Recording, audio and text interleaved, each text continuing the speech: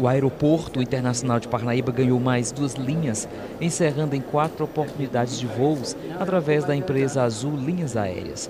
Esta expansão se destina a beneficiar a Rota das Emoções, que compreende uma região turística entre Ceará, Piauí e Maranhão. A inauguração dos voos aconteceu na manhã desta segunda-feira. Para tanto, a rota segue para Campinas, no estado de São Paulo, ampliando a malha aérea para mais de 70 conexões. Eu acho que o, o, Brasil é um país que foi descoberto pelos brasileiros durante a pandemia, né?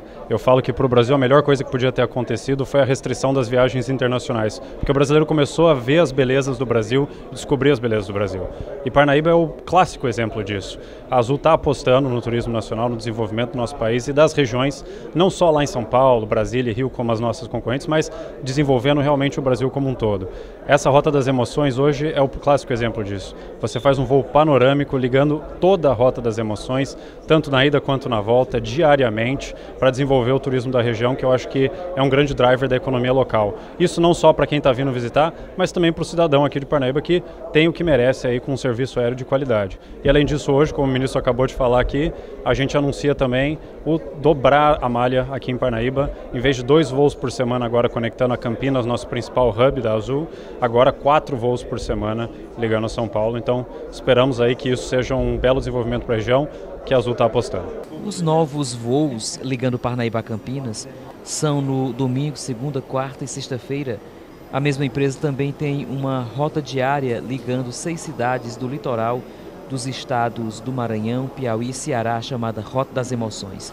A inauguração dos novos voos foi prestigiada pelo ministro-chefe da Casa Civil, Ciro Nogueira, que ressaltou o benefício para o turismo. Nós temos a expectativa que o turismo da Rota das Emoções seja o turismo de maior progresso no nosso país. E é fundamental, nós temos voos, acesso aos turistas, divulgação. E esse voo saindo de Fortaleza, Jericoacoara, Parnaíba, Lençóis e São Luís será fundamental para que a gente possa atrair mais turistas, mais investimentos e que o país passe a conhecer mais o litoral mais belo do Brasil. Parnaíba, porta do Delta das Américas, é beneficiada com mais esta ligação aérea com outros estados. É, Parnaíba, as gigantes. Nesse mesmo nesse momento de dificuldade, nós, tudo que você vê falar está acontecendo. Eu não vou cansado.